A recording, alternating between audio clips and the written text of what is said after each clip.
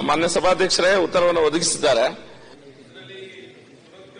Health centre ಅನ್ನ ಸಮುದಾಯ ಕೇಂದ್ರವಾಗಿ ಇದಕ್ಕೆ, ಮೇಲ್ದರ್ಜೆಗೆ ಏರಿಸಲಿಕ್ಕೆ ಒಂದು ಯಾವ ಸ್ಥಿತಿಯಲ್ಲಿದೆ ಫೈಲ್ ಅನ್ನುವಂತ ಪ್ರಶ್ನೆಯನ್ನ ಕೇಳಿದ್ದೇನೆ.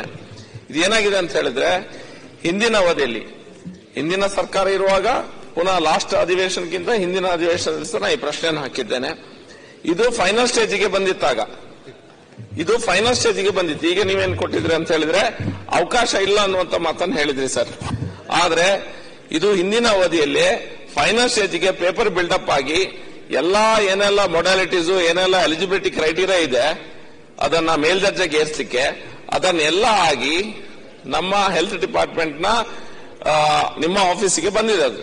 ಫೈನಲ್ ಸ್ಟೇಜ್ ಅಲ್ಲಿ ಇತ್ತು ಅದು.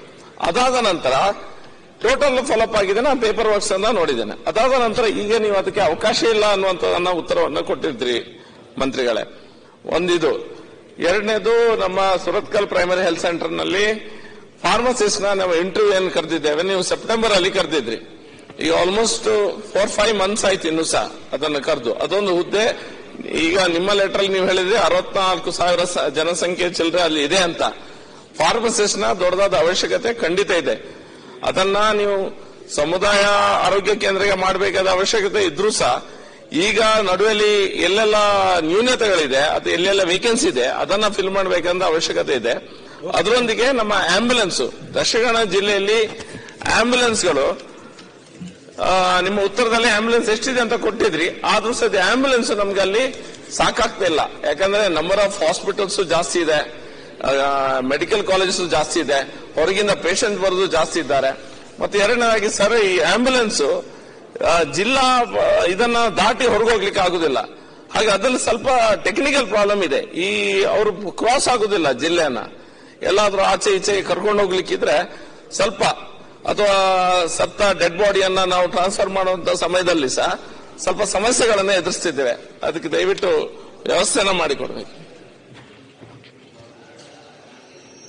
ಮಾನ್ಯ ಸಭಾಧ್ಯಕ್ಷರೇ, ಮಾನ್ಯ ಡಾಕ್ಟರ್ ಭರತ್ ಶೆಟ್ಟಿ ಅವರು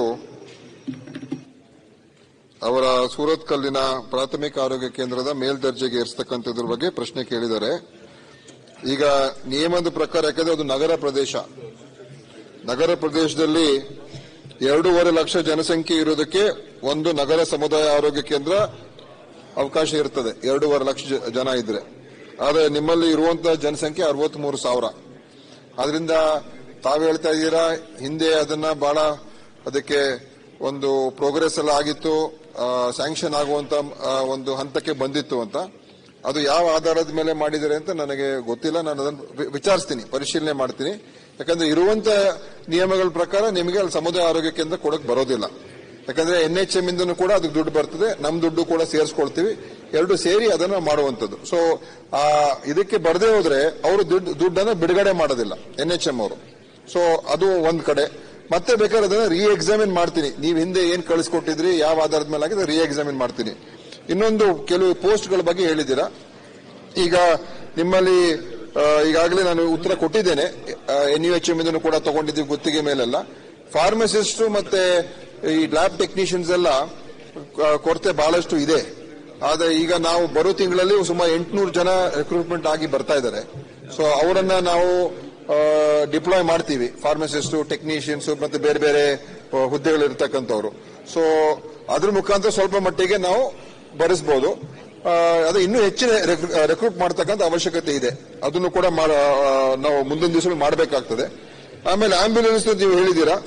ಆಂಬ್ಯುಲೆನ್ಸ್ ಈಗ ನಾವು ಇರುವಂತಹ ಇರುವಂತ ಏನು ಏಳ್ನೂರ ಹದಿನೈದು ನಮ್ಮಲ್ಲಿ ಏನು ಒನ್ ನಾಟ್ ಏಟಿನ ಆಂಬ್ಯುಲೆನ್ಸ್ಗಳಿದೆ ಮತ್ತು ಕೆಲವು ಜಿಲ್ಲೆಗಳಲ್ಲಿ ಅವ್ರದೇ ಆಸ್ಪತ್ರೆಗಳಲ್ಲಿ ಕೆಲವು ಆಂಬ್ಯುಲೆನ್ಸ್ಗಳು ಇರ್ತದೆ.